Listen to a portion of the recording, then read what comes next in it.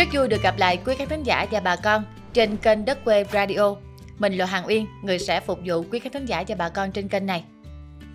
Ngày hôm nay thì chúng ta sẽ cùng gặp lại nhà văn Lê Nguyệt với góc nhìn cuộc sống đa chiều sâu sắc và đầy nhân văn qua tập truyện Giải quyết đứa em hư kể về sự tình oái oăm liên quan đến thằng con út lêu lỏng ngang ngược của ông bà Quốc. Sau đây, mời quý khán thính giả và bà con cùng lắng nghe truyện.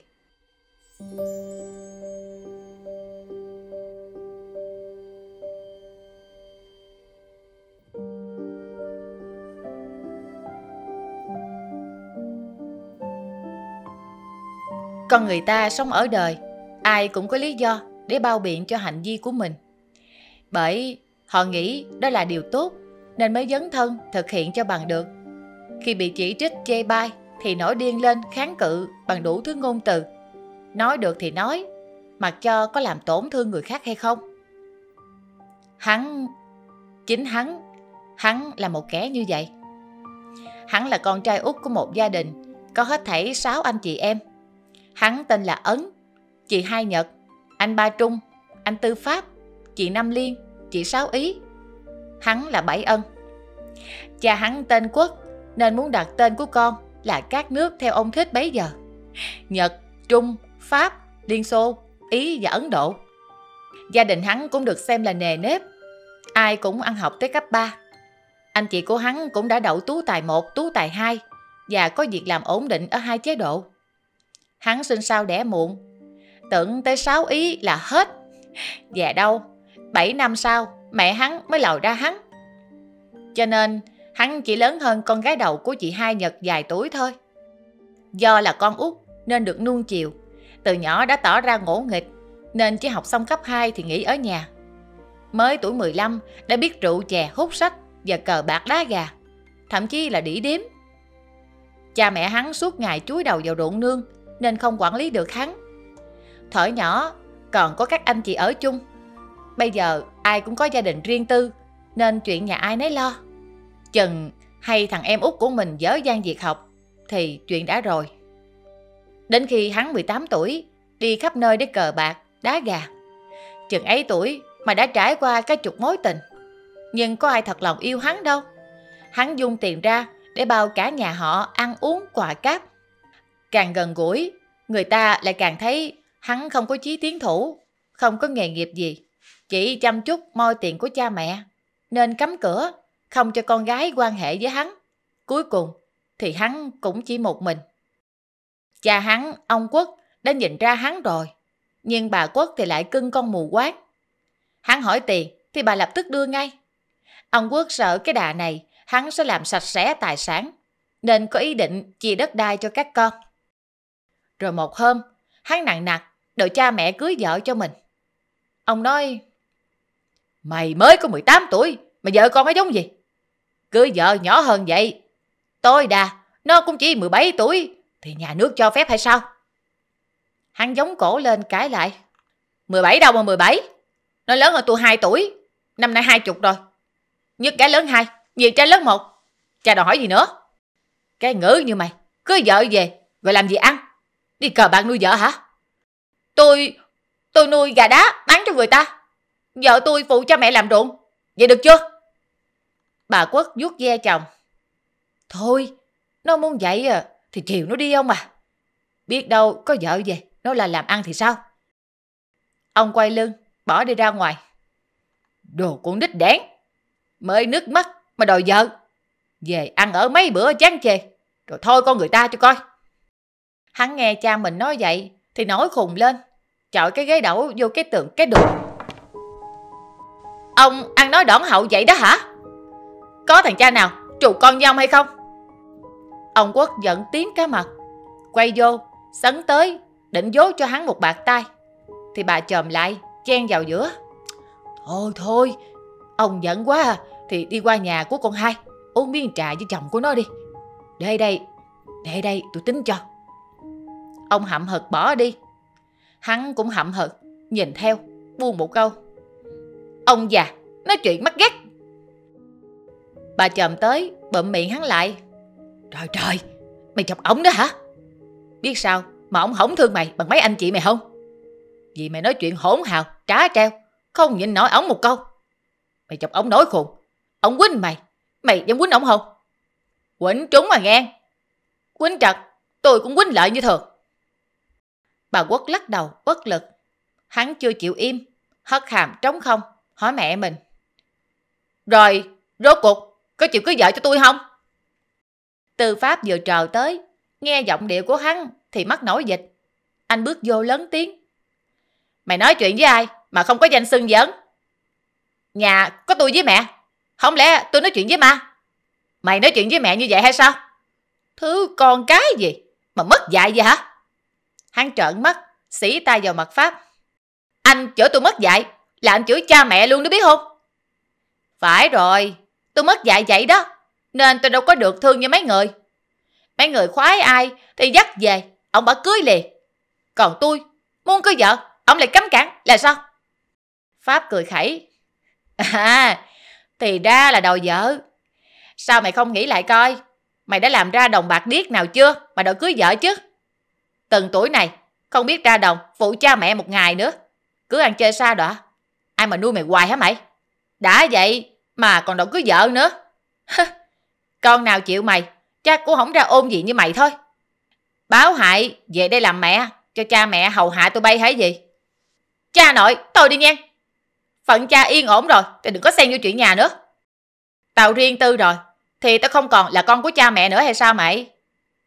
Thì ra, nếu mày cũng có vợ con như tụi tao, mày sẽ không coi những người trong gia đình này là người nhà nữa phải không? Hắn dùng dằn, kéo ghế, nghe tiếng rít dưới nền gạch, rồi ngồi phịch xuống. Thôi nghe, mấy cha có phần có vước, nên có ăn có học, làm ông này bà nọ. Tôi dốt nát thì thấy kệ tôi. Mấy cha có mơ ước của mấy cha, thì tôi cũng có nguyện vọng của tôi vậy. Dạy đời, làm đách gì đó. Muốn dạy, cha về, cha dạy con cha đi. Ai mà thèm nghe mà bày đặt lên lớp. Pháp nổi giận, tiến tới trước mặt hắn. Mày, mày nói tiếng nào nữa, tao bóp tay mày liền. Bộ ba mẹ không có cho mày ăn học sao? Bộ mày thiệt thòi lắm hả? Mày là út, sau này ở chung phụng dưỡng cha mẹ. Mà cái thái độ như vậy, tụi tao dám giao cha mẹ, giao tài sản của cha mẹ cực khổ bao lâu nay làm ra, cho mày hay sao? Hắn nhếch mép, cười khinh khỉnh. Thấy chưa? Thấy chưa? Nói tới nói lui, cũng quanh lại cái vụ tài sản. Không có phần cha đâu cha nội à. Giàu út ăn, nghèo út chịu. Mấy cha má riêng tư rồi, làm ơn, đừng có xăm xôi gì trong cái nhà này hết được tôi cái. Thấy mắt Pháp đỏ bừng vì giận, bà Quốc sợ có cuộc xô xát xảy ra, bèn lật đật, đẩy lưng Pháp ra cửa, năn nỉ. Thôi thôi, thôi, con về ở bên nhà đi con. Nói một hồi, anh em mít lòng. Nó muốn cưới vợ à, thì cưới cho nó. Có khi có vợ rồi thì biết lo, thì sao? Pháp đứng lại, nhìn mẹ mình. Anh lắc đầu, nhẹ nhàng nói với bà. Nó biết chuyện, thì không có ra nông nổi này. Mẹ đừng có chịu nó quá, nó hư rồi đó. Vợ nó chắc cũng y chang nó thôi. Nồi nào úp dung nấy mà. Rồi quay sang hắn, anh gằn giọng. Mày nên hay là hư thì mà kệ mày. Nhưng mày làm cha mẹ buồn thì có chừng tao à. Cha mẹ không phải có một mình mày là con. Biết chưa hả thằng khốn? Pháp về rồi, ấn thùng thảy nói với mẹ. Nhà này, từ trên xuống dưới, ai cũng ghét bỏ tôi hết. Vậy mày cứ vợ cho tôi, rồi tôi ở đi. Chỉ cần cho tôi vài công đất tôi cất nhà. Vợ chồng mần ăn, cho mấy trả sáng mắt ra. Ở đó mà coi thường thằng này. Dứt lời, hắn bước ra sân, coi Pháp đã đi thật chưa. Không thấy bóng nữa, hắn mới ngoái đầu lại, nói với bà Quốc. Tôi lánh mặt, cho bà bạn với ổng đi. Ổng chịu hay không thì tôi cũng cưới à. Tôi đủ tuổi rồi, có thể một mình ra quỹ ban xã đăng ký kết hôn, không cần cha mẹ cho phép. Cưới về, mà ai nói này nói kia, tôi không có nhịn đâu à. Mẹ muốn tốt mặt tốt mày, thì nói ổng làm theo ý của tôi đi. Bà Quốc nhìn theo lưng thằng con trai út mà bà cưng chiều, bởi vì nó sinh sau đẻ muộn. Khi ý được 7 tuổi, bà mới sinh ra nó. Vì vậy, các anh chị đã lớn, mà nó vẫn còn chút ép, nên bà cưng. Phải rồi, có thể là do bà quá cưng chiều, nên bây giờ tính nết nó kỳ khôi hơn các anh chị của nó. Bà cưng nó vì nó là con út. Hồi nhỏ xíu, cứ nũng nịu với anh chị và dễ thương cực kỳ. Rồi anh chị lần lượt có gia đình riêng, nó không có người chơi, đi học không có người kèm cặp, nên trốn học, ông bà cũng không biết. Cho đến khi nó không vào nổi cấp 3, mới tá quả, thì nó đã biết hút thuốc, uống rượu rồi. Ban đầu thì uống rượu hút thuốc lén với bạn bè. Dần già, về nhà, nó chui vô phòng riêng mà hút thuốc. Mùi thuốc lá nồng nặc, sao mà ông bà không phát hiện ra chứ? Vậy là bị ông chửi và đánh cho một trận. Lúc đó nó còn chịu cúi cho ông đánh. Về sau, khi phạm lỗi, ông kêu lại phạt là nó chạy và bỏ nhà đi hai ba ngày. Hết sạch tiền mới lén trồi về nhà, nằm nắp ở trong phòng, năn nỉ ỉ ôi mẹ binh. Binh được một vài lần, nhưng cũng không binh được hoài. Mà hắn lì lắm, đúng là thứ nặng giảm như trâu. Vậy mà bà không bao giờ bỏ hắn được. Nhắm thế bí quá, hắn khóc lóc gian xin bà, thề thốt sẽ là con ngoan. Hắn ngoan được vài bữa, sau đó túm của bà một số bạc, rồi đi bụi, đến khi hết sạch mới quay về. Ban đầu khi bị mấy anh chị nó la, nó làm thinh. Không biết những lời dạy bảo đó có vô đầu nó hay không. Sau này thì cha và anh nói một câu, nó trả lời một câu. Hồi trước gọi cha xưng con, bây giờ là ông tôi, gọi anh xưng em, thì giờ lại là cha nội, ông cố. Bà thật sự không hiểu nổi, cùng một môi trường giáo dục như nhau, sao lại sinh ra cái tính khí của thằng này như vậy? Thôi kệ đi, nó muốn cưới vợ chứ gì. Cưới thì cưới, nó muốn lấy ai, bà sẽ cho nó lấy. Chỉ mong rằng con vợ nó khác nó, biết kính trên nhường dưới, biết quý trọng tình thân gia đình để kéo nó trở về. Chứ mới 18 tuổi đời, mà như ngựa bất kham, thì thời gian dài còn lại, nó sống làm sao với đời chứ? Phải rồi, bà sẽ thuyết phục ông, sẽ cưới người mà nó muốn chung thân. Hôm đó chủ nhật, Ấn cũng như thường bữa, xin mẹ chút tiền rồi đi ra ngoài. Vì đã có chủ đích nên bà Quốc nhanh chóng cho hắn tiền. Vì hôm nay có một cuộc họp khẩn cấp tại nhà gồm vợ chồng ông bà và năm đứa con ruột. Bà Quốc kể lại chuyện Ấn đòi vợ và nêu lên suy nghĩ của mình. Bà vợ dứt câu thì ông Quốc đập tay xuống bàn cái rầm, gắt lên. Bà máng cái nước làm theo y nó, cho nên nó được đàn chân lên đằng đầu. Tôi thấy cái thằng này hết thuốc chữa rồi. Ý tôi muốn cưới con gái của anh hai tạo cho nó. Khi nó được 20 tuổi thì con kia nó cũng 19 rồi. Gia đình của hai tạo đàng hoàng, dạy con mật thước. Con nhỏ đó đẹp người đẹp nết giỏi giang. Chó chết này, không bằng cái móng tay của người ta. Hôm rồi, tôi có dò ý với anh chị. Coi mời, anh chị cũng bằng lòng. Chắc anh chỉ chưa nghe tài tiếng của nó.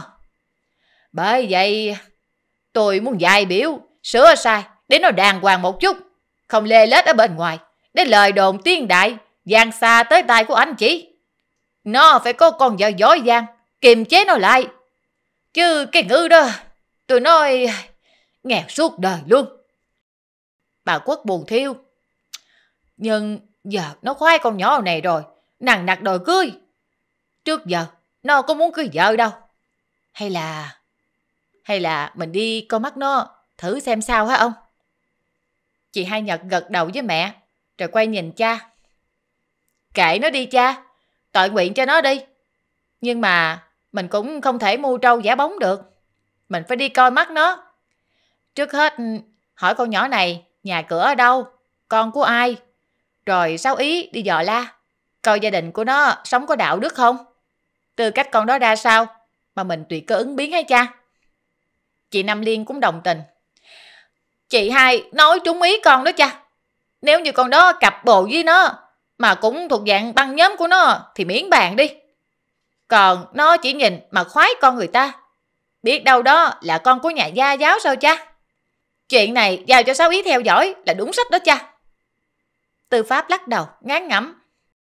Thằng này con nói không vô nó rồi. Nói ra câu nào, nó trả lời tức cành hông cô đó hả?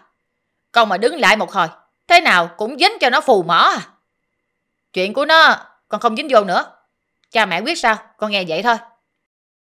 Ba Trung thì trầm ngâm. Không lẽ năm chị em mình mà làm không lợi nó sao trời? Ổn công cha mẹ cho tụi mình ăn học mà không dạy được thằng em. Trong năm đứa nó phải sợ một đứa chứ. Nó không có dám cãi chị hai, bởi vì nó hay ghét chị hai lục cơm. Chọc chỉ giận, nó chết đói sao? Nó cũng chưa đụng chạm anh. Còn thằng Tư, con Năm, con Sáu, nó quất láng hết rồi. Vậy thì để nó cho anh đi. Nó mà cà chớn cà cháo, anh dứt giày nó cái một. Chị Sáu ý chen vô. Thôi, để cha mẹ dọ hỏi coi con đó ở đâu. Rồi mai con tiến hành tìm hiểu liền. Có cơ sở mới nói chuyện với nó được. Chủ nhật tuần sau, cả nhà gom lại, chờ nghe Sáu Ý báo cáo một cuộc trinh sát của mình. Bây giờ, họ mới ngẩn ra vì biết Ấn thường xuyên vắng nhà. Nghe Tư Pháp và Hai Nhật nói, năm khi mười quả mới thấy mặt hắn. Bà Trung giận run người. Anh nói thế nào cũng phải dạy dỗ thằng em này ra trò. Đâu thể để nó tự tung tự tác như vậy. Nếu nó đi cà phê cà pháo, bù khú với bạn bè thì không nói chi. Đằng này vắng nhà triền miên, lại mê cờ bạc đá gà. Thì trước sau cũng lâm vào tệ nạn xã hội, chạy trời không thoát. Thân nó kệ nó, nhưng còn danh dự của cha mẹ, còn uy tín của anh em anh ở cơ quan thì sao? Ba Trung là kỹ sư hóa chất, anh thường xuyên tiếp xúc với hóa chất độc hại, nên cưới chị đã nhiều năm mà vẫn chưa sanh được con. Bác sĩ nói người anh khó tạo ra tinh trùng, nếu có cũng rất yếu, không thể kết hợp với trứng mà cho vợ mang thai được. Gia đình ai cũng thương chị, vì như vậy mà chị cũng không bỏ anh. Vậy là vợ chồng đi xin một đứa con về nuôi. Bé gái lúc chị bồng về chưa thôi nôi, năm nay cũng được 10 tuổi rồi. Vì muốn không ai biết về gốc gác của con trừ người nhà, nên anh chị dọn đi nơi khác, xa nơi này 30 cây số. Đến nơi ở mới, bé Hoàng Hoa mới được đưa về. Cho nên, chuyện Ấn đổ đốn, ba Trung là người biết sau cùng. Sau ý chờ mọi người ổn định xong, rồi mới thưa qua. Con đã xuống tận nơi luôn đó cha. Nhà họ cách xa nhà mình lắm.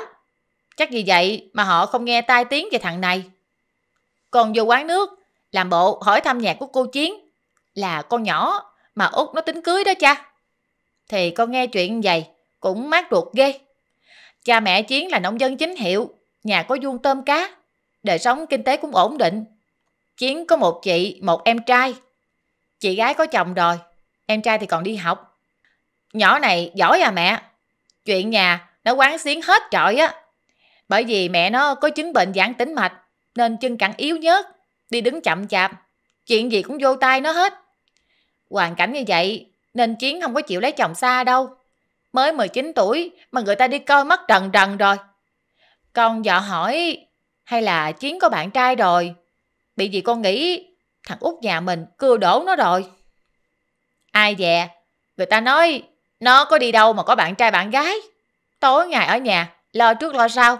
Sổ xuân cũng kêu bạn hàng tới cân, chứ không có đi bán nữa. Gia đình người ta như vậy, dễ gì thằng út nó sáp vô được mẹ cha ơi. Bà Quốc Hồ hỏi, nghe con nói mẹ mắc ham. Thằng này phải có con vợ như vậy mới trị được nó. Nằm liền đắn đo. Con độ, nó thấy người ta, rồi nó khoái thôi, chứ dễ gì tiếp cận được. Mẹ coi, con Chiến nó lớn hơn thằng Ấn 2 tuổi. Mới 20 mà biết lo gia đình như vậy. Nếu như cha mẹ của nó cũng như nhà mình. Cho người đi dò la, hỏi có ai chịu gả con cho cái thằng vô công đổi nghề, chuyên chơi bời không? Mà lúc này, con dòm thấy nó mắc ớn quá. Ốm đờm ốm đỉnh, cái miệng nhô ra hô hóc, không có dễ thương như hồi trước. Mẹ coi, cái ngón tay với răng của nó dạng khè, bị hút thuốc quá nhiều. Nhìn vô là mất quận. Ai lại đi gả con cho nó? Tức thì, Ấn từ đâu lù lù có mặt. Nghe Nam Liên nói vậy, hắn nổi điên. Đập tay vô tường cái ầm. Bà nói tôi không còn cái đắc gì hết vậy. Nội cái miệng của bà đi kêu rêu, cũng đủ chết tôi rồi. Vậy mà, ai hở ra cái cúng thương thằng Út. Út cặn, Út mót của cái nhà này. Người nào người nấy, cái thầy như trâu sình, nên chê tôi ấm nhất chứ gì. Ông Quốc cầm cái ly, văng vô mặt của Ấn. Hắn né qua một bên, cái ly văng vô vách tường, rơi xuống nền gạch, dở tan tành.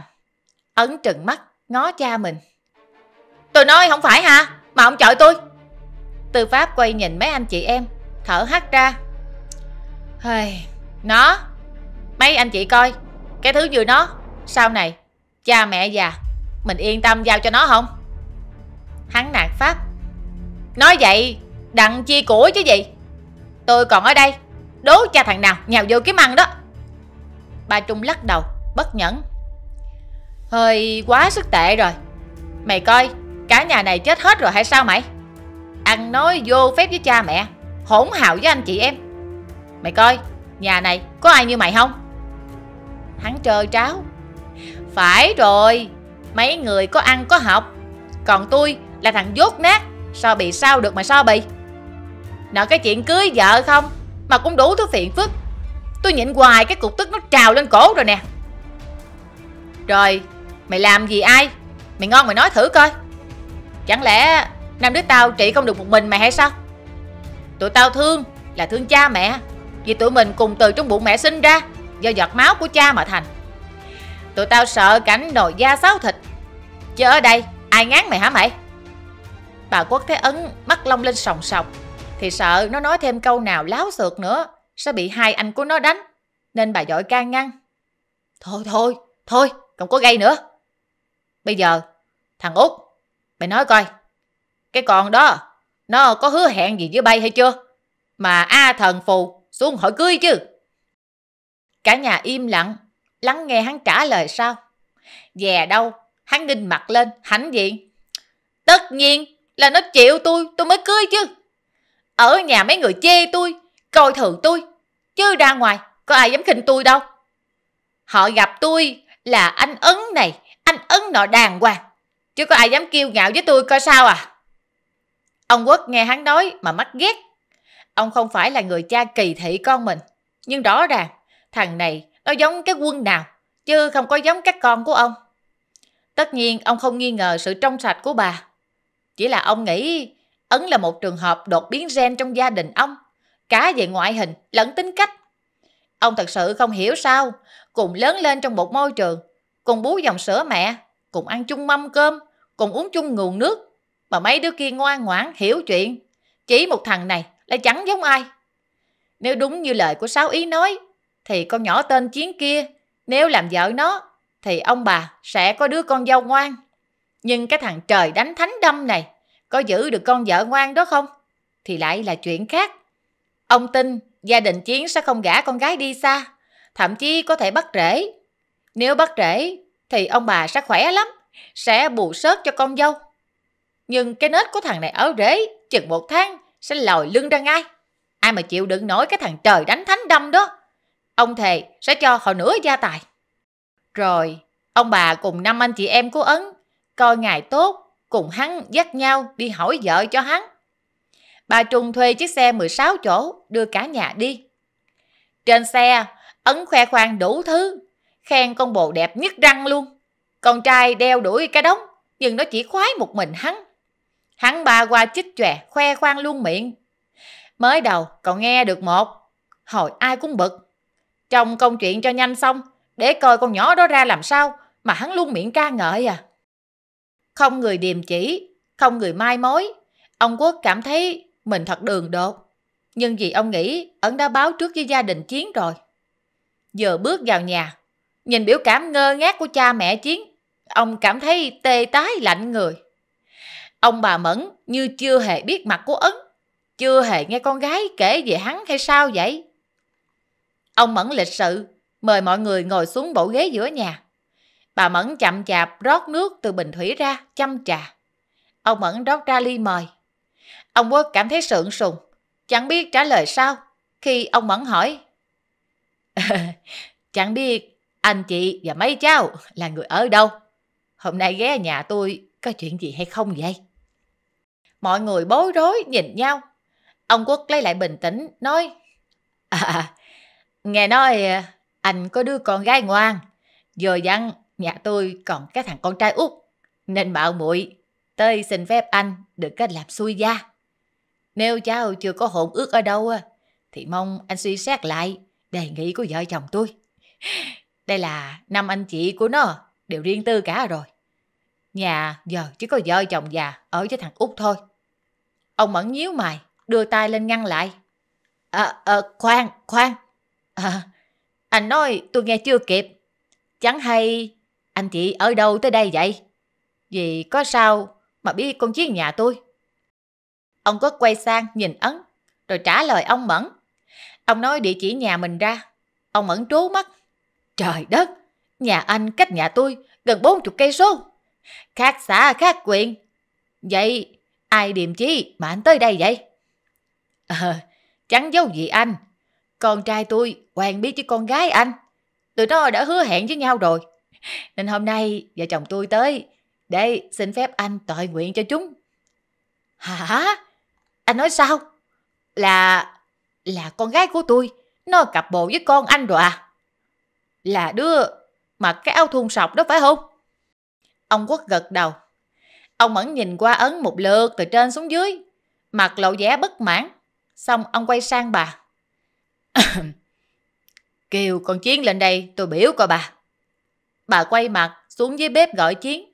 Cả nhà nhìn xuống, thấy một cô gái khỏe mạnh, quần ống xăng ống sổ, vuốt vuốt cho ống quần xuống thẳng thớm mới đi lên. Cô gật đầu chào mọi người. Khuôn mặt thanh tú, với nước da ngâm đen của dân lao động.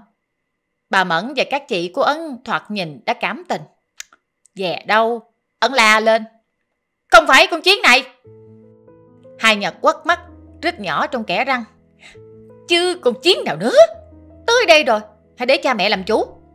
Cô gái này mới nhìn đã có cảm tình. Mày mà cưới được cổ là phước ba đời rồi. Hắn nói mà các anh chị của hắn không bụng miệng lại được. Mà chắc gì con nhỏ này nó chịu tôi. Chịu tôi tôi cưới liền. Ông bà Quốc cảm thấy quá sức mất mặt. Cái thằng khốn này, tới nước này thì hết nói nổi nó rồi. Lần đầu tiên ông thấy lúng túng thấy xấu hổ. May mắn ông Mẫn cười xòa. Tôi biết nó nói ai rồi. Nó cặp với con Chiến, con của anh Ba Tạng ở đầu đường kìa. Cái con đó với nó xứng đạo xứng kép đó. Nhưng anh chị ba lại người đàng hoàng. Sống ở đây cũng chẳng mít lòng ai. Xin lỗi anh chị. Nếu như cậu út nhà anh chị và con gái của tôi có quen nhau, chắc tôi cũng không gả nó đi xa đâu. Bây giờ Chiến là trụ cột của gia đình. Tôi có đánh tiếng với mọi người. Nếu ai để ý con gái tôi muốn cưới nó cho con trai mình á, thì phải đồng ý cho nó ở rễ. Vậy à, xin phép anh chị, tôi còn phải ra vuông tôm nữa. Hôm nay có mướn người phụ nên không có tiếp anh chị được lâu. Nói xong, ông đứng dậy tiễn khách. Cả nhà của ông Quốc tê tái, xấu hổ ra xe về. Trên xe, không ai nói một câu nào. Ân thấy vậy mới sụt sè. Giờ ghé nhà con Chiến phải không? Bà Trung ngồi băng trên, quay xuống, tán cái bóp vào đầu của Ấn. Miếm môi, cố nén cơn giận. Mày là mất mặt cha mẹ như vậy, chưa đủ sao? Mày với con đó thân lắm hả? Thề non hẹn biển hả? Vậy mà mày không biết nhà, không biết cha mẹ người ta. Vậy nó đã tin tưởng mày chưa? Hôm nay, vô cớ đến coi mắt con gái người ta, làm chết duyên của nó. Mày không thấy hổ thẹn hay sao hả thằng chó? Ủa, ủa, bộ tôi nói nhà này là nhà của nó ha? Tự nhiên ngừng xe lại, kêu tôi vô, tôi tôi vô. Giờ kiếm chuyện gì kỳ vậy? Tư pháp hậm hực. Vậy sao trước khi bước vô, mày không nói? Mày để cho cha phải quấy người ta xong, rồi bé mặt bé mày gì mày? Giờ còn ống cái miệng lên là ống làm sao?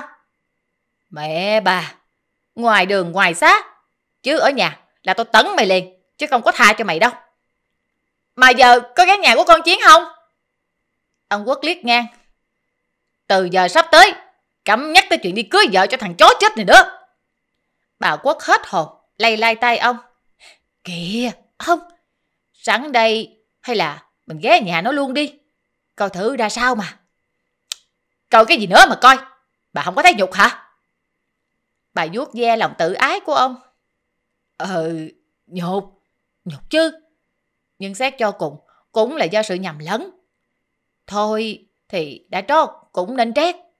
Hồi ông để mặt tôi, ghé nhà con này coi sao nghe không? Hai Nhật thấy thương mẹ quá, nên sợ bà buồn. Chị nói vô. Còn thấy mẹ nói cũng phải đó cha. Mỗi lần đi, mỗi lần khó. Mình gì nó một lần. Nếu rất khe như vừa rồi, thì để nó tự làm gì thì làm. Mình không can thiệp nữa. Mỗi người nói một câu. Ông Quốc nhượng bộ, nhưng không muốn dây vô cái thằng con bất nghỉnh bất ngãn này nữa.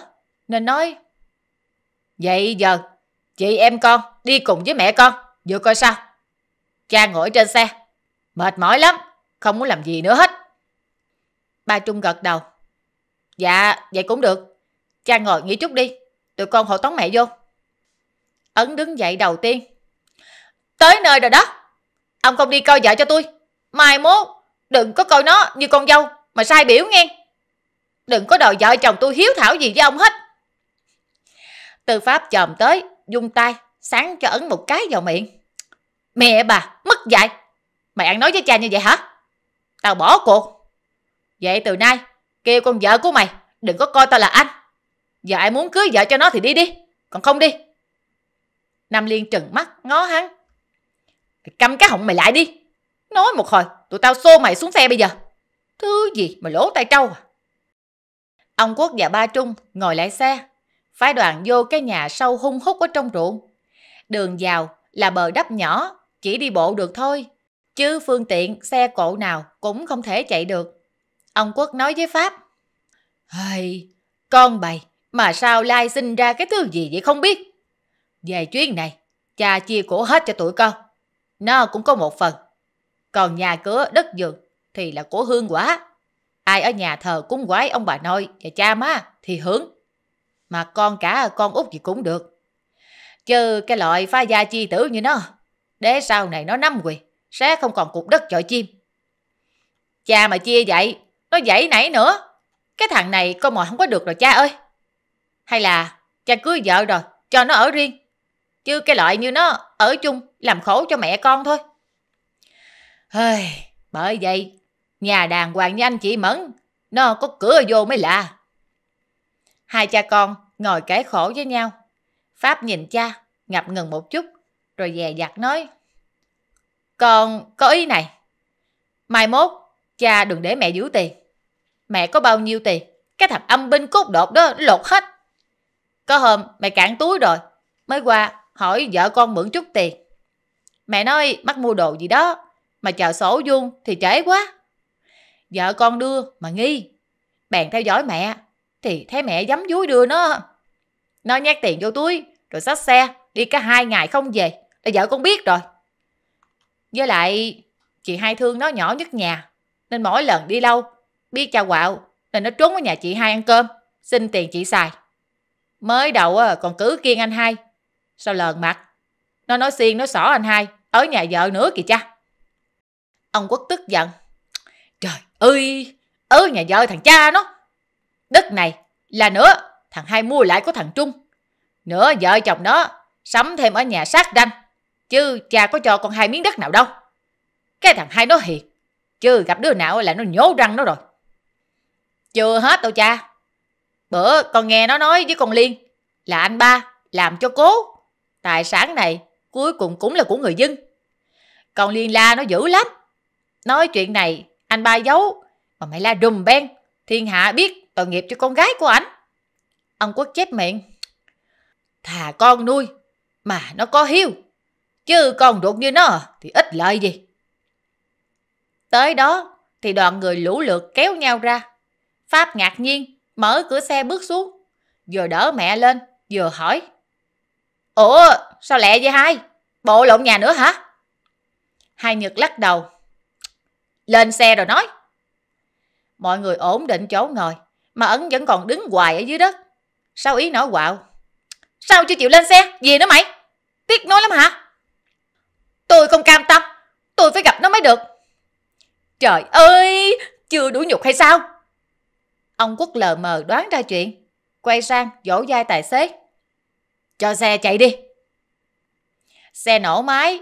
Ấn phóng lên, ngồi xuống cạnh bà Quốc. Lúc này, sắc mặt của bà rất khó coi.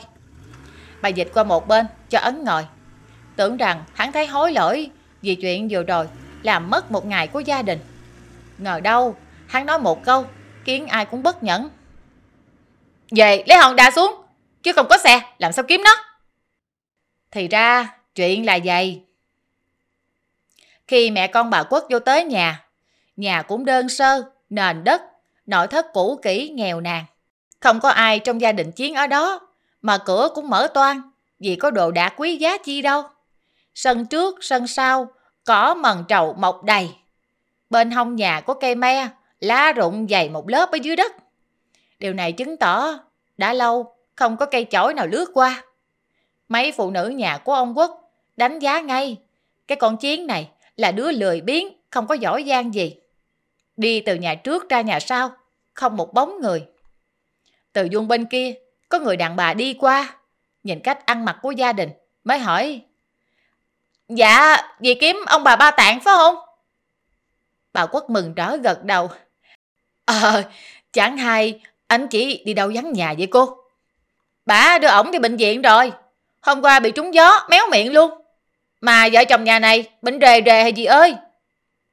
À, vậy còn cái anh chỉ đâu?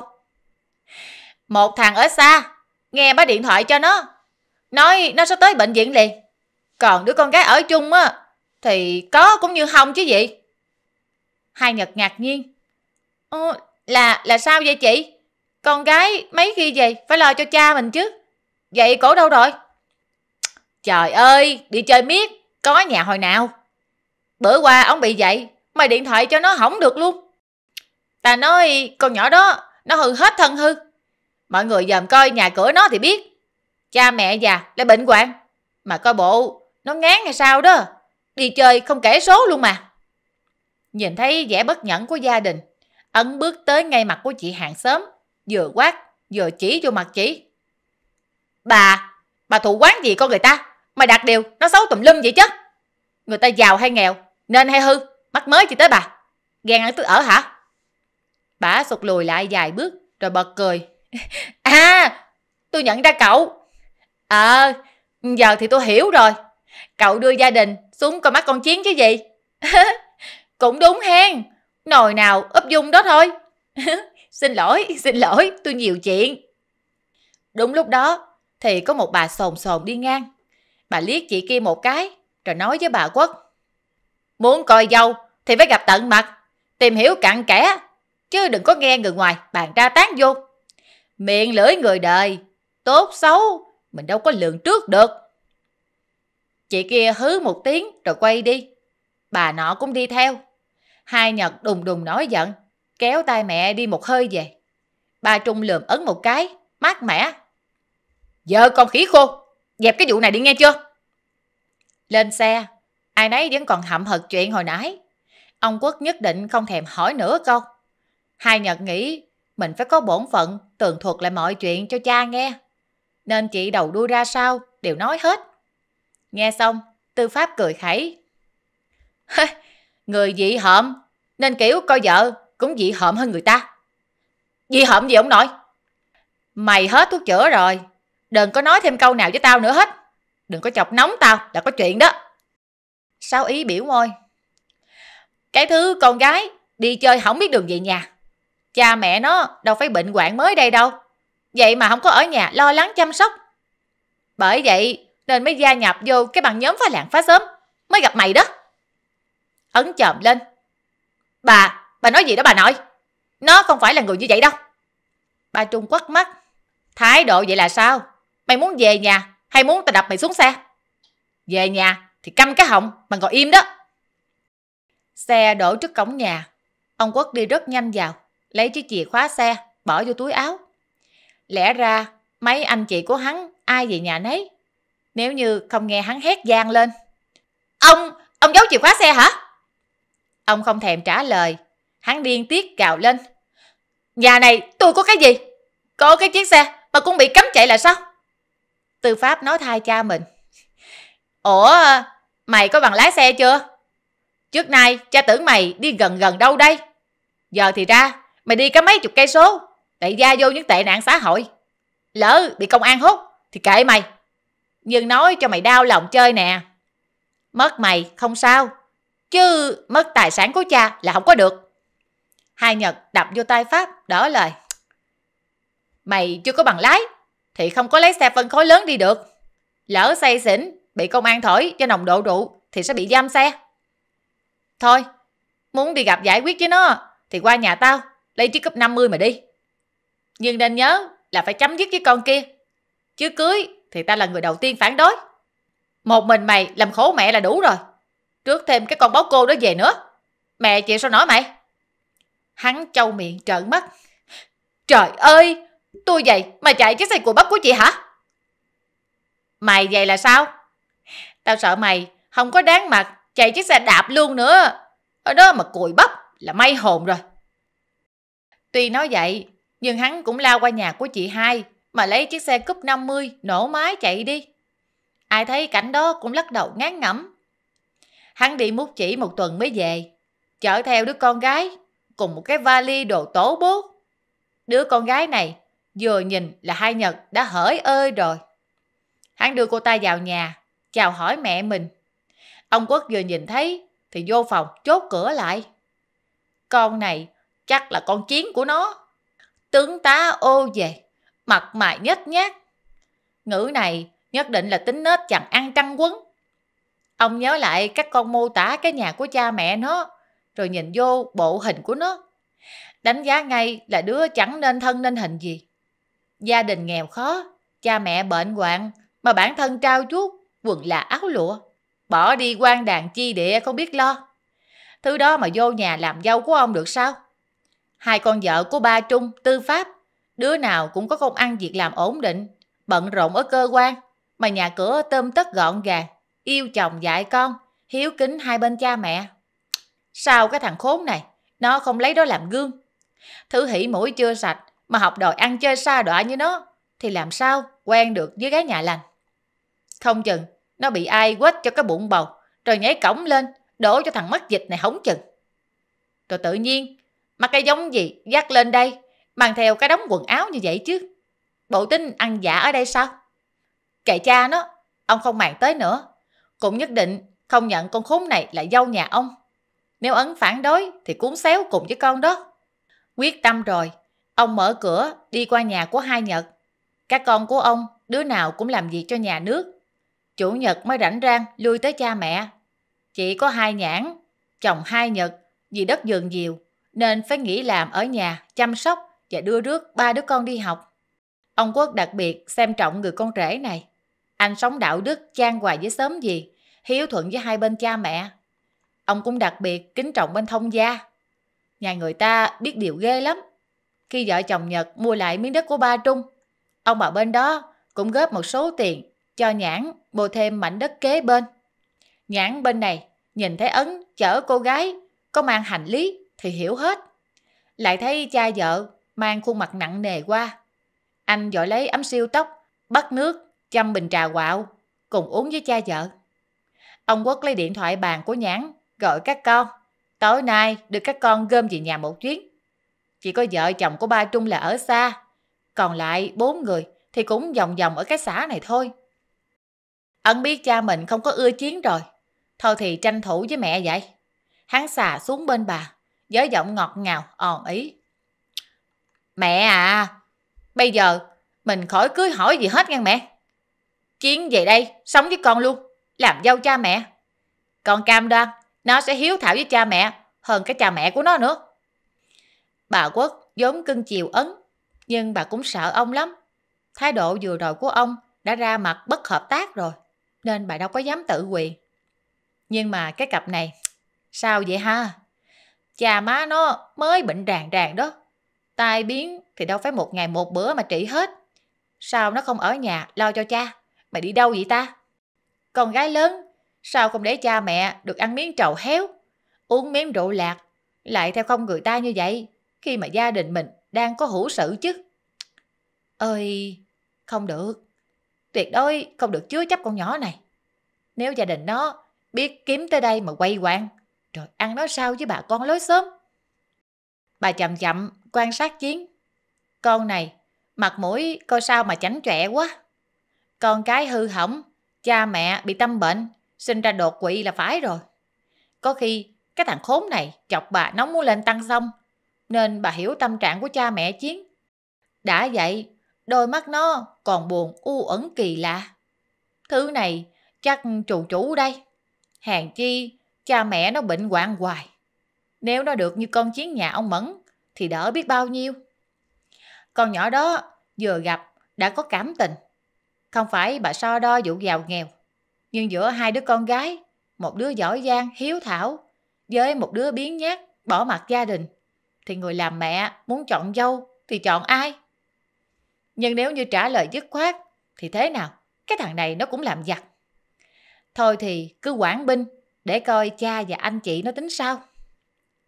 Ờ, ủa, cha con bệnh, sao con không nuôi, mà cuốn quần cuốn áo bỏ đi vậy? Trời ơi, đã mặt mũi khó coi rồi, mà tiếng nói là rỗn rang, chói tai kỳ cục. Nó trả lời tỉnh bơ với bà.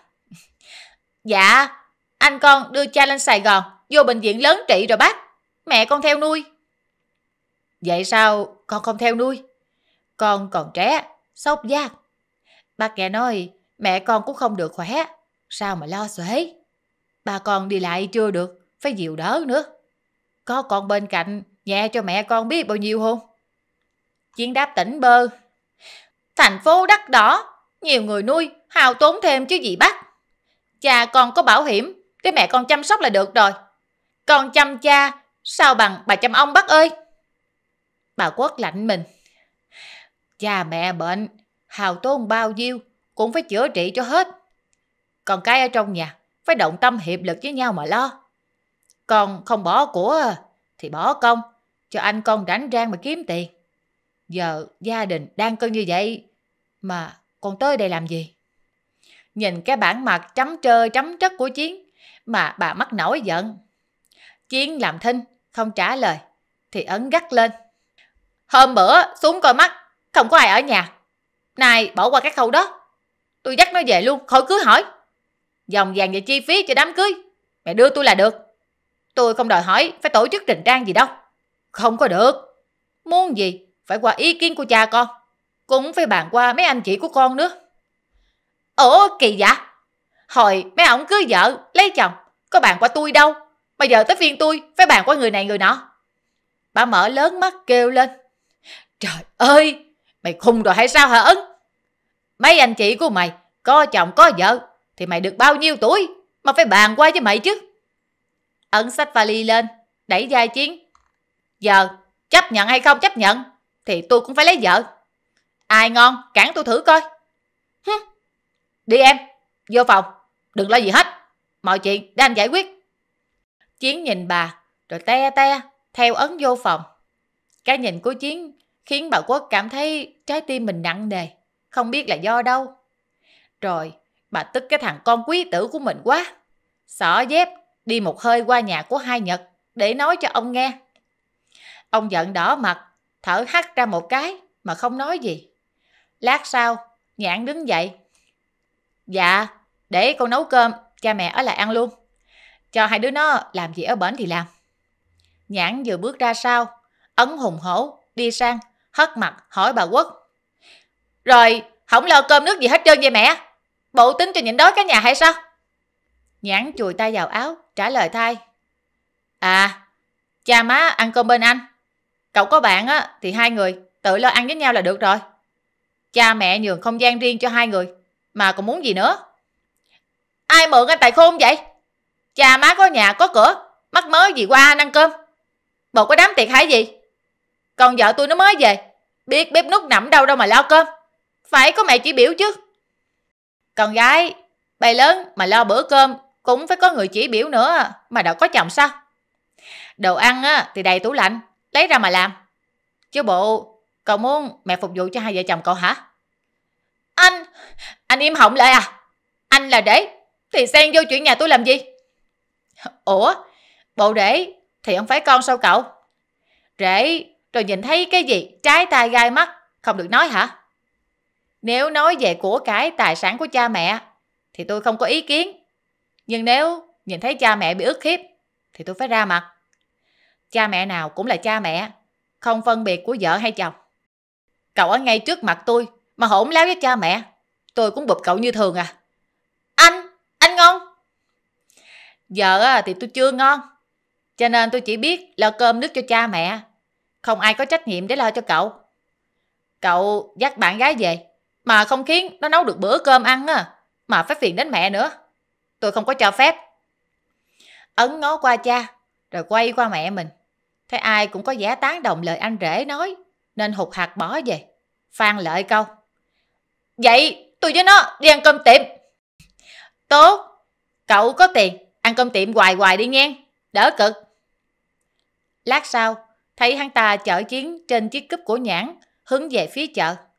Ông Quốc lắc đầu, nói với bà. Hây, không có nhượng bộ nó được đâu bà ơi. Các con của ông Quốc gom lại nhà chính, dắt theo những đứa trẻ cùng chơi chung với nhau ở nhà của tư pháp. Ấn và Chiến ú ở trong phòng, kêu không chịu ra. Sau ý tức mình, lại đập cửa rầm rầm. Tụi bay điếc hết rồi hay sao vậy? Cha kêu ra biểu, không nghe hả? Còn cái cô kia, cô lại nhà của người ta mà không biết chào hỏi người lớn, kẻ nhỏ gì hết. Chui vô phòng con trai, ở miếng cái trỏng là sao? Cô có gia giáo không hả? Ấn mở cửa phòng, đánh cái ầm một cái, bậm môi. Gì nữa đây bà nội? cái nhà gom lại, nó xấu tôi, thì tôi lánh mặt cho nói. Vậy mà còn không chịu. Giờ muốn gì? Mày riết rồi, quá tệ, hết thuốc chữa luôn rồi Út. Giờ muốn gì thì mày ra ngoài, chắc con này theo. Coi cha mẹ và anh em giải quyết vụ này. Không có gì để giải quyết hết. Cưới thì không chịu cưới. Giờ nó theo không thì cũng không chấp nhận, coi được không? Riết rồi, cái nhà này đâu có ai xem tôi như người của gia đình. Mấy người nhớ cho, hộ khẩu tôi vẫn còn ở đây đó nghe. Lắm lời quá mày, giờ chịu ra ngoài chưa? Không ra, tao lôi đầu cái con kia, đóng cổ ra đường liền tức thì đó. Ra thì ra, làm thế ghê. Ra coi mấy cha mấy má, tính sao đi em. Hắn nắm tay Chiến, ngoan ngoãn ra ngoài. Hắn ngồi xuống cạnh mẹ mình. Chiến vừa đặt đít lên ghế, thì hai Nhật đã trừng mắt. Ai cho phép cô ngồi xuống? Cứ đứng đó, nghe chuyện. Ấn chồm lên, ngó hai Nhật. Gì kỳ vậy chị? Hiếp người quá đáng vậy. Mày cũng im. Nghe cha và anh mày nói kìa.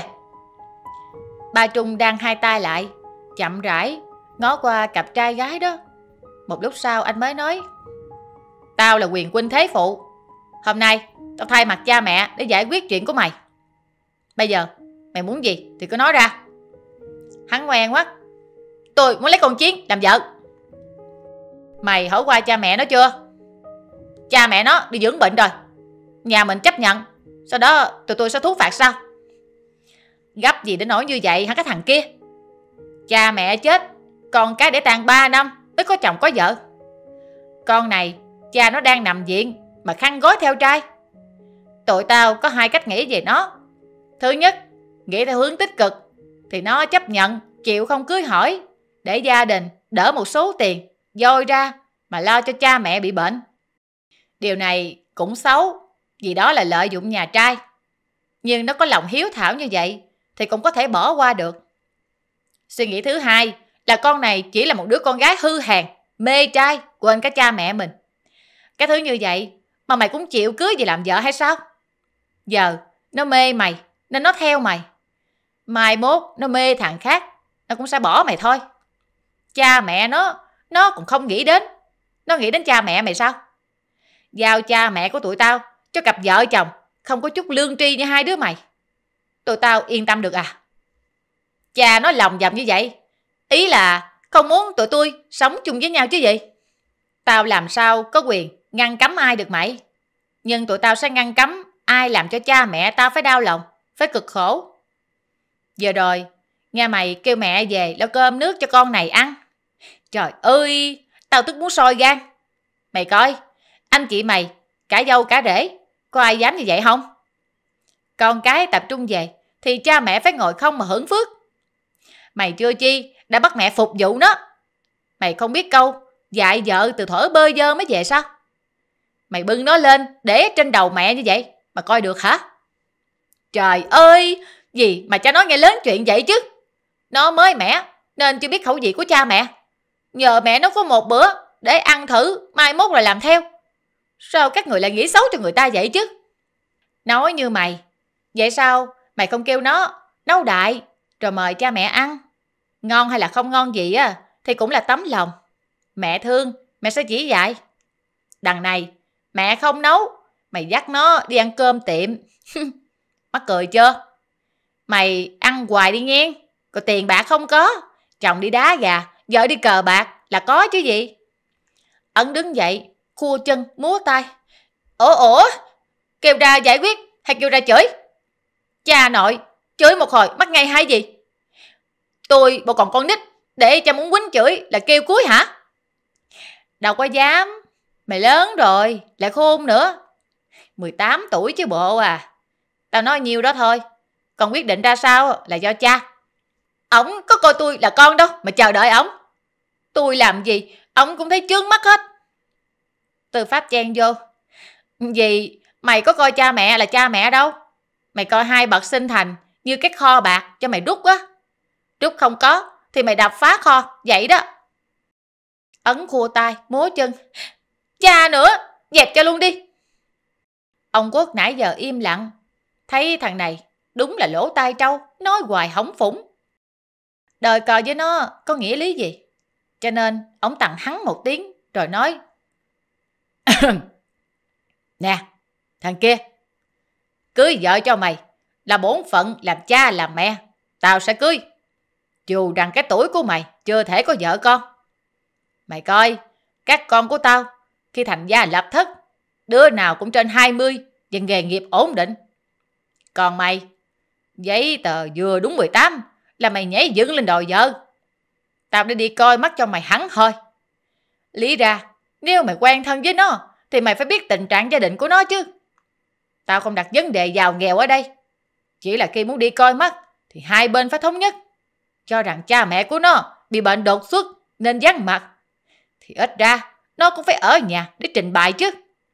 Có đâu, xem chuyện đó như là trò đùa. Bỏ đi chơi hai ba bữa không về. Mặc cho cha mẹ mình bệnh hoạn tự lo. Nói dòng do, để nhấn mạnh với mày là con nhỏ này không có vô nhà tao được. Nếu mày muốn chung thân với nó, cứ dắt đi đâu thì đi. Tao nói một lần, không nhắc lại nữa. Còn hôm nay, tao gom các con tao lại để tuyên bố một chuyện. Tao có 20 công ruộng, chia cho 6 đứa con, mỗi đứa 3 công. Còn hai công là của tao với mẹ bay dưỡng già. Có ba công đất vườn chung quanh cái nhà này. tao chưa có cho đứa nào hết. Sau này, tao với mẹ mày mất. Đứa nào thờ cúng, dỗ quái ông bà cha mẹ thì hướng. Coi như là của hương quả. Vậy là ba công của mỗi đứa. Muốn canh tác cũng được, muốn bán cũng được. Thằng Ấn, nếu muốn cùng con này ăn đời ở kiếp, hay là nay ở mai thôi, thì cứ việc cất nhà riêng mà ở hoặc là bán đi đâu thì đi. ta mặc kệ. ta không cưới hỏi nên cũng không phải là dâu. Vậy thôi. Ai cũng thấy Chiến nhướng mắt nhìn Ấn. vẻ bất bình hiện rõ trên gương mặt. Nam Liên dội lên tiếng. Cha mẹ còn khỏe mạnh, chia của làm chi? Hay là cha làm cái di trúc thôi, còn đất đai cha cứ canh tác. Làm không nổi thì cho người ta mướn lấy tiền xài. Cha mẹ cũng lớn tuổi rồi, đừng có vất giả nữa. Ấn bật dậy, dung tay loạn xạ. Cha không công bằng. Ai đời con gái mà chia của bằng với con trai. Ông Trung hồi đó, cha chia cho ông đất giường rồi. Giờ, ông cũng đã bằng với mấy người khác là sao? Già út ăn, nghèo út chịu. Cha chia tôi y như họ. Mời mốt tôi lấy gì phụng dưỡng cha mẹ chứ. Tao không có cần mày phụng dưỡng. Mày đột khoét chứ phụng dưỡng ngã nào. Mày nhớ cho, tao chưa từng kỳ thị con của mình. Sáu đứa tao thương như nhau. Nhưng mày có thấy mày xứng đáng được thương không? Mày so bì với anh ba của mày hả? Anh mày là con trai lớn. Cưới vợ tao cho ra riêng. Vì sao mà nó dọn đi? Chắc mày cũng hiểu mà. Dọn đi, nhưng nhà là của nó. Nó để lại cho chị mày đi mua nhà khác thì có gì sai sao? Con nào cũng vậy. Tao không có phân biệt trai gái giàu nghèo. Chia đều như nhau. Luật pháp cấp cản hả mày? Ông chuyện gì cũng ba trung, ba trung. Nhưng thằng chả tuyệt tự rồi. Cha cho của cuối cùng cũng là người dân nước lã ăn thôi. Vậy không bất công với tôi hả? Tôi có vợ, sanh con nói giỏi cho ông. Không đáng quý hơn cái thằng cha chung ngàn lần sao? Ông Quốc cầm bình trà, phan thẳng vô đầu của Ấn. Thắng né ngang, nhưng mỏ bình cũng quẹt qua mặt, rách một đường dài. Hắn gầm lên. Nói chúng tim đen rồi, nên ông chọi tôi hả? Ông vỗ bàn, hét lớn. Tao sống từng tối này, tao chưa từng thấy một thằng con nào Bất nghĩa, vô nghị như mày Sanh con nói dối cho tao à Tao không cần cái thứ cháu do mày sinh ra. Rồi cũng sẽ như thằng cha của nó thôi. Mày lái nhái một hồi, Tao thu lời hết. Mày, mình không ra khỏi nhà luôn đó cho hay. Không khí nặng nề đến ngợp thở. Khi Chiến bỗng cười xòa, vẻ mặt khinh thị. Thì ra, cái nhà này cũng rối rắm như mớ bồng bông. Tất cả là do ông mà ra. Chấm dứt đi ông Ấn à. Ông nói với tôi là nhà ông giàu có, Đất đai cò bay thẳng cánh. Lấy ông thì không có sợ nghèo đói, Còn có tiền lo cho cha mẹ tôi. Dè đâu, Ông không có chút uy tín nào. Ông sống như chùm gửi, Thì đừng mong nhận lấy sự đồng minh của ai. Ngay cả tôi cũng coi thường tư cách của ông. Thôi, bye bye ông nghe. Ông đi kiếm con nào hợp cãi với ông mà đem về. Tôi không có chịu nổi cái cảnh giành giật tài sản của ông đâu. Xin lỗi đã làm phiền cả nhà. Dứt lời Chiến vô phòng lôi cái vali ra cúi đầu thật thấp chào ông bà Quốc. Ấn nắm tay cô lại Nhưng Chiến gạt ra Quắt mắt nhìn hắn. Tôi cấm anh đi theo. Tôi ngán sợ anh rồi Để tôi đánh ra mà lo chuyện của tôi. Xong Chiến kéo vali ra ngoài. Ấn chạy theo thì bị tư pháp chặn lại ở cửa lôi vô nhà. Hân, vợ tư pháp, canh chừng mấy đứa con của các anh chị em. Thấy cô gái xách vali từ nhà của cha chồng ra thì biết đó là người mà Ấn đưa về. Sao vậy? Chẳng biết cha đã giải quyết ra sao mà cô ta vừa đi vừa khóc vậy chứ. Có tiếng chuông điện thoại từ trong túi quần của Chiến. Khi thấy cô móc điện thoại ra kề tai, Hân hiếu kỳ nghe theo. Cô nghe được. Mẹ à, con gái bất hiếu. Con vừa làm một chuyện trời không dung, đất không tha. Mẹ ơi, con xấu hổ, muốn nhào ra xe mà chết. Nhưng cha còn đã trong tình trạng như vậy, sao con nỡ đành? Mấy hôm nay con đã xoay sở đủ khách đi kiếm tiền phụ anh con lo cho cha. Thậm chí bán cà phê cho quán đèn mờ. Bị người ta sợ mó, con cũng cắn răng cam chịu. Nhưng mẹ ơi, Mẹ đừng lo Con gái của mẹ không có hư hẹn tất tiếc đâu con vẫn nhớ lời cha dạy Nghèo cho sạch, rách cho thơm. Thân con thì sao cũng được Nhưng cha mẹ phải khỏe mạnh. Hôm nay con liều mạng tới nhà Ấn Chỉ với hy vọng duy nhất Gia đình Ấn chấp nhận con Và giúp con một số tiền. Con biết Cha mẹ mà nghe chuyện này Thì cha thà chết Chứ không có cho con làm. Nhưng Nhưng con bí đường rồi Con không yêu Ấn đâu. Cũng như chưa từng hẹn hò gì với anh ta. Anh ta đeo đuổi con đã lâu Nhưng trong mắt con Ấn là đứa con nít Ăn chưa no, lo chưa tới. Nhưng nếu gia đình ấy giúp cha vượt qua căn bệnh này Thì dù có làm trâu Làm ngựa để báo đáp Con cũng cam tâm tình nguyện. Nhưng vì Bản thân của Ấn không ra gì nên mọi người nghĩ con và hắn cá mè một lứa. Mẹ ơi nếu như bây giờ Có ai mua trinh tiết của con Con sẽ sẵn sàng dâng hiến cho họ Để đổi lấy số tiền Mẹ đừng có cản ngăn con. Thân thể này là cha mẹ cho con. Con dùng nó Để báo hiếu Vậy thôi. Nghĩ đơn giản một chút Sẽ thấy lòng nhẹ nhàng hả mẹ? Chiến khóc nức nở, tức tưởi. Hình như bên kia đầu dây cũng khóc. Cô ngồi xuống bên vệ đường, bưng mặt, hai vai rung lên. Hân quá sức bàng hoàng, thương hết sức thương. Thì ra là vậy, Chiến mang tiếng bỏ cha mẹ đi bệnh viện không lo. Ngờ đâu cô đi kiếm tiền, bằng lòng làm quán cà phê ôm, làm tiếp viên, miễn sao có được tiền, gửi lên phụ anh trai nuôi cha.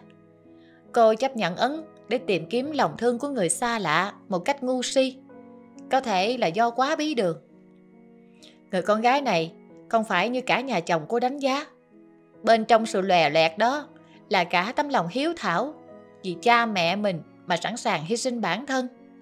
Nhưng việc chọn ấn để cứu cha là cô đã đi sai nước cờ rồi. Hân không thể nhìn đứa con gái hiếu thảo bế tắc. Chị bước đến, ngồi xuống cạnh chiến, ôm vai cô, dịu dàng. Thì ra em có nỗi khổ tâm. Nhưng dù có như thế nào, thành thật cũng tốt hơn em à. Gia đình chị á, ai cũng xem trọng tình nghĩa. Biết em hiếu thảo như vậy, tất nhiên sẽ không khoảnh mặt với em đâu. Chị mừng khi nghe em nói mình không yêu ấn, chưa từng là bồ bịch với nó. đi, đi theo chị, trở lại nhà. Chị sẽ giúp em.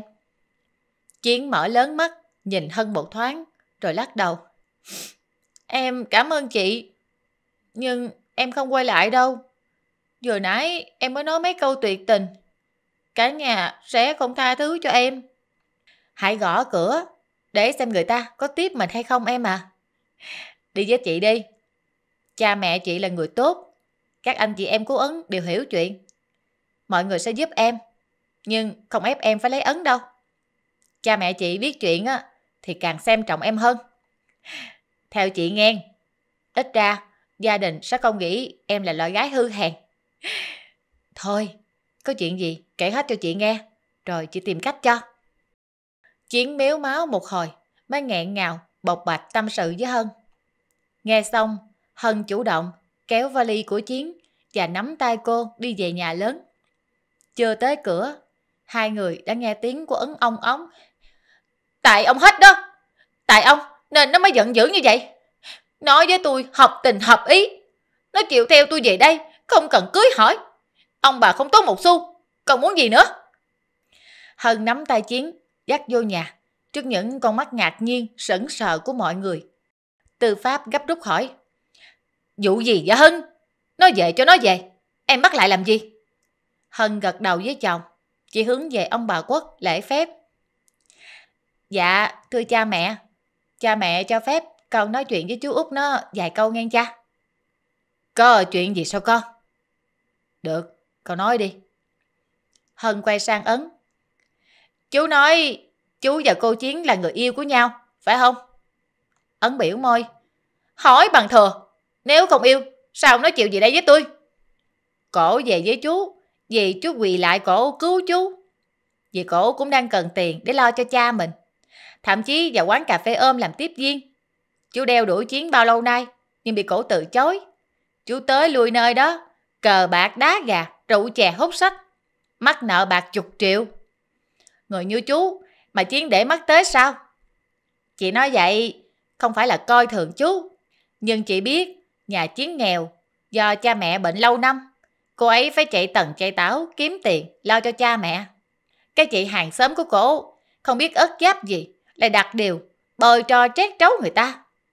Nhưng cũng có người đã nhìn ra được. Đứa con gái hiếu thảo như vậy lại chịu dây vào một gã đàn điếm hay sao chú? Rồi, chú biết Chiến cần tiền. Chú theo gạ gẫm, kêu Chiến vợ với chú, khỏi cứ hỏi, để chú lấy trọn số vàng và tiền chi phí cho tiệc cưới hỏi mà trả nợ riêng và Chiến lo cho cha. Chiến thì quá bí lối nên đồng ý với chú. Cô ấy hạ quyết tâm sẽ trình bày sự thật với cha mẹ của chú. Ngờ đâu khi về đây hai ngày, nhận ra chú không có chí thú cầu tiến, mà cứ bám vào cha mẹ, nên cũng muốn dứt áo ra đi. Cô định đi bán trinh đó, chú có biết không? Nói tới chuyện bán trinh thì hiểu ngay, dù làm ở cái quán cà phê ôm, nhưng cổ vẫn giữ mình trong sạch. Người con gái như vậy, đáng quý không chú Bảy? Đáng quý gấp trăm lần chú phải không? Nhìn Ấn ngẩn người ra, Hân quay sang Chiến. Cô xấu hổ, nước mắt tràn hai má. Bà Quốc nghe nói thì thương quá. Ngoắt cô lại gần, ôm lấy đôi vai cô. Sao con không nói thật với bác? Đã vậy, còn trai vẽ mất dạy, khiến bác hiểu lầm. Mà sao con ngu dại như vậy chứ? Cứ nói thẳng ra, hai bác sẽ giúp cho. Chứ con biết cái thằng Ấn, nó hư hèn. Hai bác đâu có tin tưởng mà giao tiền bạc cho nó được. Nói lỡ như hai bác chiều con rồi, chấp nhận, thì có phải con hy sinh cuộc đời bên cạnh cái thằng chồng không có biết lo hay sao? Ánh mắt ông Quốc dịu lại, tiếng nói nhẹ đi. Bác tin con nói thiệt, vì bác tin mắt nhìn của Hân. Con yên tâm, hai bác sẽ giúp con số tiền để con lo cho cha mình. Không cần phải lo trả lại đâu. Nhưng với điều kiện là con phải lên chăm sóc cha con, cho mẹ con về nhà nghỉ ngơi. Còn người ta sống, chứ hiếu làm đâu. Còn có hiếu thì đi đến đâu cũng được người ta xem trọng. Chắc con đã thấy thái độ của thằng Ấn đối với cha mẹ nó rồi. Hãy lấy đó làm gương. Chiến nước mắt như mưa, cô quỳ xuống trước mặt của ông bà. Dạ, ơn này con kết cỏ ngậm dành. Con không từ chối vì làm chuyện xấu xa để có tiền mà con còn dám. Huống chi đây là tấm lòng của hai bác. Hai bác yên tâm, con không thương Ấn, nhưng con cũng chưa tự thương ai. Nếu như sau khi cha con khỏe mạnh về nhà mà Ấn thay đổi, thì con xin hứa con sẽ lấy anh ấy. Anh ấy thương con, chắc con sẽ cảm hóa được ảnh. Nếu trong vòng một năm mà anh vẫn chứng nào tật nấy, thì coi như con thất bại. Xin được làm con gái của hai bác, con sẽ biết cách để báo ơn. Còn bây giờ, con sẽ gọi điện thoại cho mẹ con, để các chị nhìn hiện trạng của cha con và nói chuyện với mẹ con, xem con có phải là con gạt mọi người lần nữa không? Thật ra, mẹ con cũng không có điện thoại cảm ứng. Đây là điện thoại của anh con, đưa mẹ con giữ để con tiện liên lạc.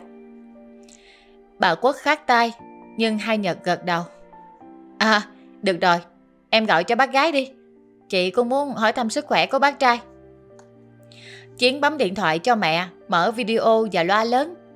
Vừa bắt máy, bà Ba Tạng đã kêu lên. Chiến à, con không được làm bậy nha. Cha con mà biết là ông chết ngay đó. Dạ không, không đâu mẹ ơi, con có tiền rồi. Là do hai bác đây giúp cho con. Mẹ nhìn hai bác nè, mẹ nói cảm ơn hai bác đi mẹ. Khoan, khoan con ơi, sao con quen không biết mà hai bác lại cho con mượn tiền vậy chứ? Mắc ơn nghĩa người ta, rồi sao mà trả hả con?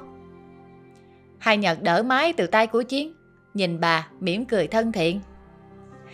Dạ, con chào bác, con là gái lớn của cha mẹ con. Cha mẹ con giúp em Chiến vô điều kiện đó bác. Chiến quen biết với em trai con, gia đình của em ấy đang gặp khó khăn. Cha mẹ con thấy em hiếu thảo như vậy, sợ rằng vì kiếm tiền lo trang trải thuốc men cho cha mà làm chuyện dại dột, nên giúp em thôi. Bác đừng có nghĩ ngợi gì nhiều, cũng đừng có băn khoăn về số tiền này. Hãy yên tâm mà lo cho bác trai khỏe mạnh. Rồi tụi con sẽ lên thăm. Thiếu hụt gì, con sẽ đưa thêm ngang bác. Bà ba tạng nước mắt đanh tròng, môi mấp máy mà không nói ra tiếng. Chiến dạt ra để chị hai cô Ấn nói chuyện với mẹ mình.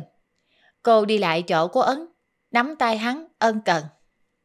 Anh có một gia đình như vậy mà không biết trân trọng, leo lỏng đầu trên xóm dưới để gây ra bao chuyện làm lỗi. Tôi mang ơn gia đình anh, nhưng không mang ơn anh. Tôi đi lao cho cha tôi đây. Nếu như anh thật sự thương tôi, vậy thì trong vòng 6 tháng anh phải tích cực thay đổi. Thay đổi đây là thay đổi tính tình và cách sống. Nghe anh xưng tôi với cha mẹ và gọi là ông bà. Tôi bất nhẫn vô cùng. Cha mẹ sinh ra mình chỉ có một, nuôi dưỡng, dạy dỗ mình nên dốc nên hình, thì muốn nên người, phải là tự mình mà thôi. Qua 6 tháng, tính từ ngày này, tôi sẽ quay lại đây. Nếu anh đã là một người con ngoan như các anh chị đây, và anh vẫn còn thương tôi, thì tôi sẽ cùng anh báo hiếu cho cha mẹ hai bên. Tôi không hứa xu. Ấn từ lúc Hân dắt chiến trở lại, hắn như bị điểm quyệt, đứng chết trân mà không biết phản ứng ra sao. Hắn hoàn toàn bất ngờ về Chiến. Ấn thích cô, nhưng hắn không hiểu cô. Quen biết Chiến trong quán cà phê đèn mờ ở ngoài thị trấn. Hắn nghĩ cô cũng là một cô gái ăn chơi đàn điếm như mình. Nhìn bề ngoài của Chiến vui vẻ, sởi lởi. Hắn nghĩ mình dễ dàng chinh phục Chiến. Nhưng một năm trôi qua, Chiến vẫn chưa chấp nhận hắn. Tìm hiểu thân nhân của Chiến, hắn biết nhà cô nghèo, cha mẹ quanh năm bệnh hoạn, yếu đuối, nên hắn định dùng tiền bạc để mua chuộc tình cảm.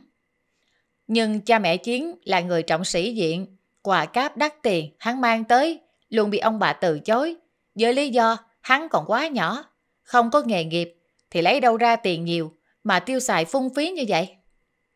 Một là hắn bòn rút cha mẹ, hai là cờ bạc dây mượn mà có tiền. Vậy thì đó là đồng tiền bất chính, ông bà không thể nhận. Tác động cha mẹ Chiến không được, Hắn quay qua tấn công cô. Mà cô thì cứ lặp lờ lặp lờ như vậy, khiến hắn nghĩ cô ta dễ chinh phục lắm. Ngờ đâu, hắn thất bại hết lần này đến lần khác. Hôm cùng gia đình tới nhà Chiến, biết cô cần tiền, nên hắn chơi chiêu khác. Hắn dụ, anh biết em cần tiền lo cho cha. Cha mẹ anh thương anh lắm. Hôm rồi, anh dẫn cha mẹ và anh chị xuống coi mắt, đánh tiếng cưới em. Nhưng nhà em gặp hữu sự. Thôi, anh bạn với em gì nghe. Em về làm vợ anh đi. Mình không tổ chức đám cưới liền. Lấy số tiền đó mà lo cho cha. Phần nữ trang cưới thì cha mẹ anh cho nhiều lắm. Anh cũng còn mắc một số nợ ở đây. Cha mẹ cho anh, anh sẽ bán bớt trả nợ, rồi đưa hết cho em. Sau khi cha em khỏe lại, nếu em vừa mắc cha mẹ anh, thì thế nào, cha mẹ cũng sẽ đi cưới em đàng hoàng. Còn nếu trong thời gian sống chung mà mình chán chê nhau, thì em cũng có tiền điều trị bệnh cho cha rồi. Hắn dụ dỗ chiến mấy ngày, cô mới chịu cùng hắn về nhà hắn, ra mắt cha mẹ. Ấn hoàn toàn không ngờ sự việc lại diễn biến ra như vậy. Cũng tốt thôi, cha mẹ hắn đã có cái nhìn khác về chiến, mà trong lòng hắn lại thấy ấy nấy và nể trọng cô gái này. Hắn nhất định phải cưới cô cho bằng được. Trước mắt hắn nghĩ Chiến là đứa con hiếu thảo, đứa con gái trong sạch. Để xứng với Chiến, hắn sẽ thú thật với mẹ mình số nợ hắn đang mang và xin bà trả giùm. Rồi sau đó sẽ ở nhà tu thân dưỡng tính, cùng cha ra đồng làm ruộng hoặc sẽ xin phép hai bậc sinh thành về coi sóc vuông tôm nhỏ nhoi của nhà chiến. Hắn phải thay đổi để có được người vợ hiền mà hắn thầm thương trộm nhớ bấy lâu. Hắn cũng phải chứng tỏ cho các anh chị thấy hắn không phải là đột biến gen. Hắn cũng giống như họ, là một thành viên trong đàn con của cha mẹ hắn mà thôi. Hai Nhật trả điện thoại cho Chiến, rồi ân cần nói với cô. Thôi, em ra đón xe đi, cho kịp đem tiền lên lo cho bác trai. Cha mẹ giúp Chiến bao nhiêu thì đưa ra cho em ấy đi mẹ. Mấy đứa bay, có đứa nào góp vô không? Báo lên để tao tính coi nè. Bà Trung móc bóp, lôi ra mấy tờ 500 đưa Nhật. Bớt tử vậy, trong mình em chỉ có nhiêu đây? Chắc cỡ 4 triệu. Anh phụ em 4 triệu ngang chiến. Tư pháp nhìn Hân. Em là đầu dây mối nhợ cho chuyện này. Em có bao nhiêu nè? Ý anh muốn bao nhiêu? Anh ra lệnh em mới dám. Pháp cười xòa. Trời trời, anh có giữ đồng bạc điếc nào đâu trời. Hân nắm tay Chiến. Chị phụ em 5 triệu nghe. Năm Liên và Sáu Ý nhìn Nhật. Tụi em không có mang theo tiền. Chị hai cho mỗi đứa mượn 5 triệu nghe chị hai. Góp gió thành bảo, cứu mà út nó qua cơn ngặt nghèo thôi. Hai Nhật gật đầu. Gọi mở út thì hơi sớm đó nghe. Để coi thằng em mình từ đã sắp tới ra sao cái đã. Được rồi, phần chị á sẽ đưa ra 6 triệu, bù cho cậu ba 1 triệu. Năm chị em, tổng cộng 25 triệu cho em. Cái này á là anh chị cho, chứ không phải em mượn nghe chứ. Nên đừng có băn khoăn chuyện trả lại. Bà Quốc nhìn chồng, dò ý. Mình bỏ vô cho được 50 nghe không? Ông dễ dãi. Ơi, bà tính sao cũng được mà. Chiến cầm tiền ra khỏi nhà, nước mắt chảy mãi, lao không kịp khô. Hân lấy Honda đưa cô ra xe, mặc dù Ấn dành đưa. Còn lại những người trong nhà, nhờ cười, nhìn thẳng vào mắt của Ấn. Ban đầu, tao cứ nghĩ mày với nó chơi chiêu gì mới nữa đây để gạt tụi tao. Nhưng nhìn thấy cha nó trên giường bệnh, mặt mẹ nó hốc hác, thì tao biết những lời của nó là sự thật. Khá khen cho mày, có con mắt nhìn người đó. Nhưng mà mày không có hiểu người đâu. Mày không xứng với nó nghe ấn. Người ta vì cha mẹ mình có thể bán rẻ nhân phẩm. Còn mày, sống trong chăn êm điểm ấm, chưa lấy đó làm đủ.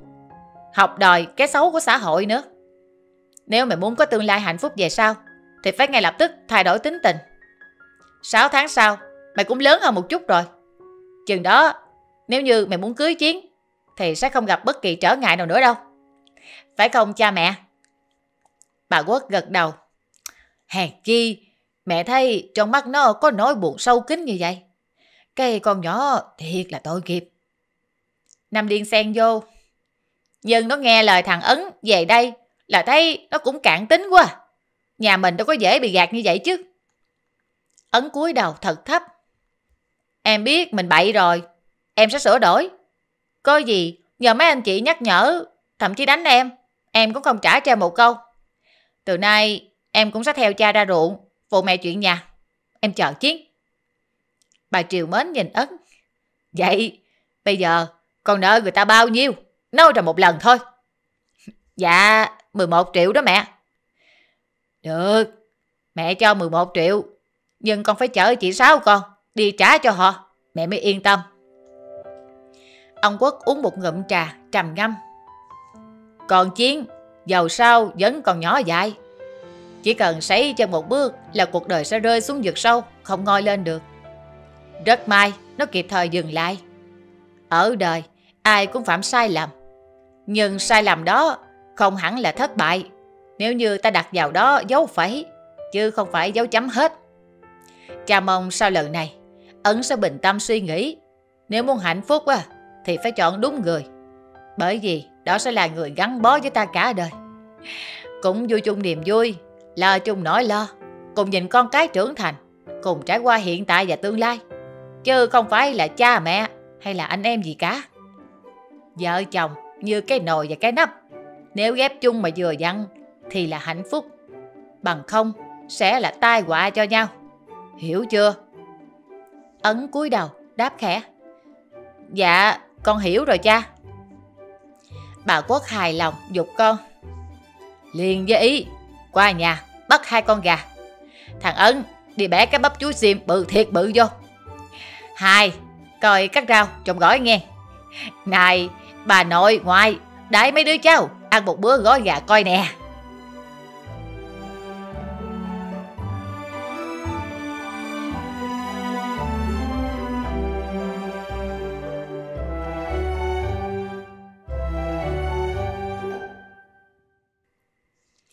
Quý khán thính giả, vừa nghe xong truyện ngắn Giải quyết đứa em hư của tác giả Lê Nguyệt. Đến đây thì khung giờ đọc truyện của kênh Đất Quê Radio xin phép được tạm dừng. Và Quyên rất mong nhận được sự ủng hộ của quý khán thính giả bằng cách like và share video. Xin chào tạm biệt, hẹn gặp lại vào video sau.